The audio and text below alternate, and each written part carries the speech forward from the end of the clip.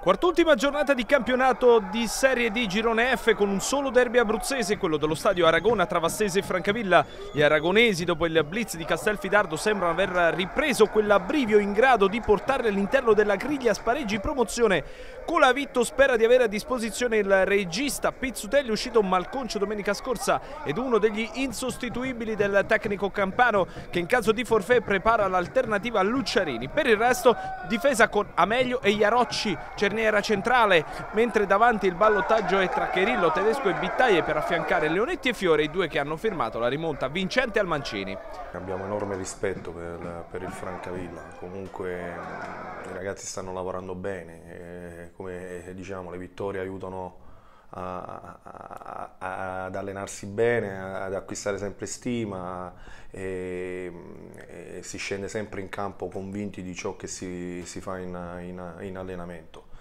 Um, detto questo ce la giochiamo domenica, giochiamo davanti al nostro pubblico, ci teniamo comunque a, a regalare una gioia ai tifosi vastesi.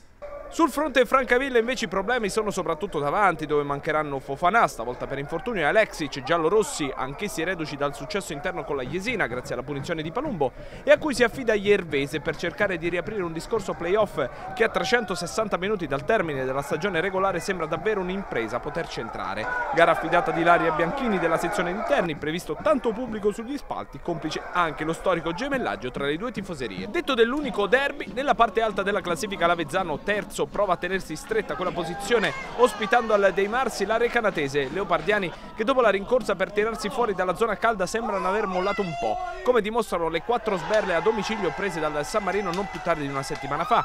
In casa bianco-verde mancherà per squalifica il portiere Federico Fanti dopo il rosso rimediato dalla panchina nella gara col San Nicolò di domenica scorsa. Due invece gli assenti in casa giallorossa, Lunardini e Olivieri. Giampaolo non avrà ancora sbardella in difesa, out anche Bisegna, ma avrà a disposizione Tari Mariuk recuperato a tempo di record dopo lo scontro di gioco pauroso di Pineto. Una partita molto, molto difficile, una partita dove l'area canatese viene da una sconfitta pesante, pesante in casa con il San Marino per cui è una partita da tenere altissima la concentrazione. Io penso che adesso mancando quattro partite alla fine bisogna alzare l'asticella su tutti i punti di vista. Domenica abbiamo questa opportunità di giocare in casa eh, sono sicuro che ci sarà anche il supporto del, del, nostro pubblico e noi dobbiamo fare una grande prestazione per cercare di portare a casa il risultato. Scontro in salsa playoff a San Marino dove l'Aquila, grazie al supporto anche economico della propria tifoseria, andrà a giocarsi le speranze di sorpasso sui rivali.